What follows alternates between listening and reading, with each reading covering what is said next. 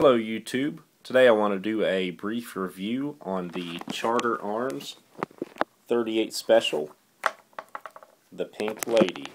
Uh, this is one of my first YouTube videos. I'm filming with an iPhone, so I apologize for low quality, but I want to give you guys a run through or breakdown of this handgun.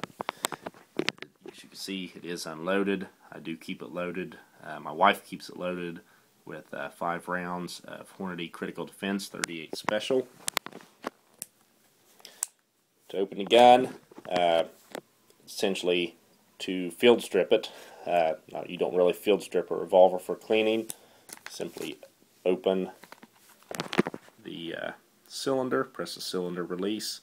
That opens the cylinder. See, it is unloaded.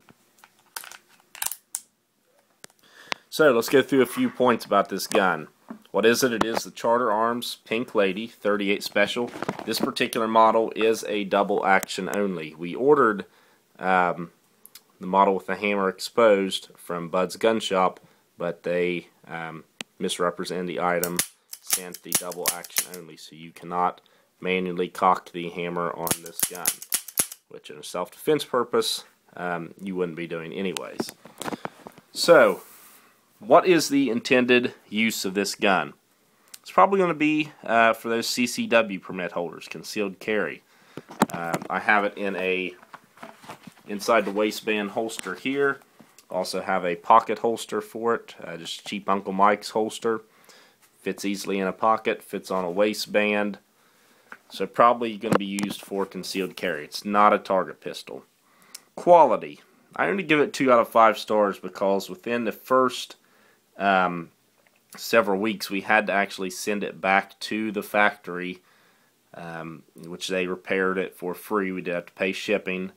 Uh, the cylinder was completely stuck closed. It would not open.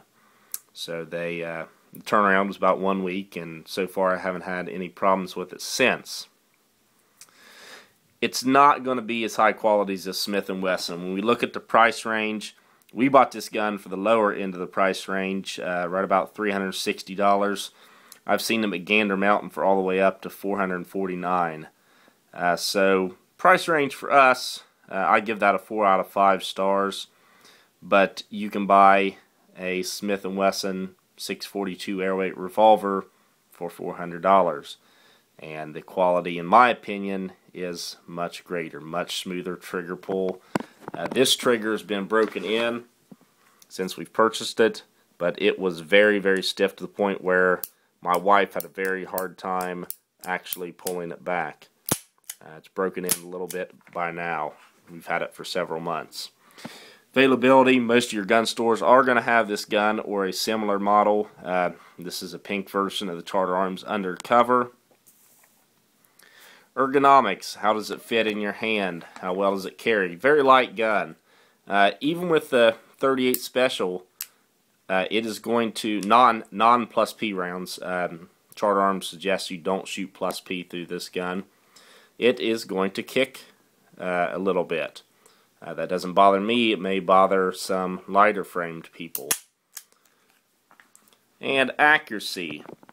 Uh, this was a problem at the beginning. I really did not like the gun at the beginning compared to a Smith & Wesson that I had previously shot and was very accurate with. Um, I have learned to become a little bit more accurate with this gun. Let me show you a target here. This is at 7 yards, 25 shots. So you can see most of them are at least within the 8 ring with uh, quite a few in the 9 and some in the 10. So for up close work, concealed carry, uh, that accuracy is probably pretty sufficient. If you have any questions, please comment in uh, below the video and I will be happy to answer them. Thank you very much.